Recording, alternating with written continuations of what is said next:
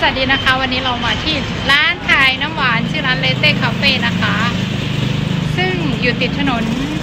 อยู่ไม่ไกลจากสำนักงานปศุสัตว์จังหวัดชัยภูมิเท่าไหร่นะคะ แค่ขับมอเตอร์ไซค์แว่นๆมาก็ถึงแล้ว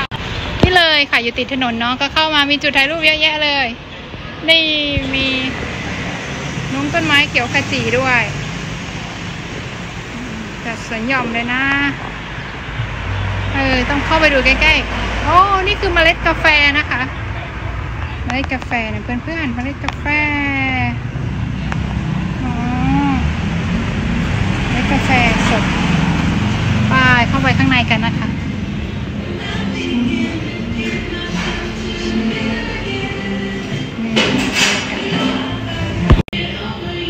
ก็แนะนำให้มานะคะ ร้านบรรยากาศเย็นน่ารักห้อง สำหรับคลิปนี้ลาไปก่อนนะคะ บ๊ายบาย เดี๋ยวจะร้านน้ำหวานแบบสวยๆจะพามาแนะนำอีกสวัสดีค่ะ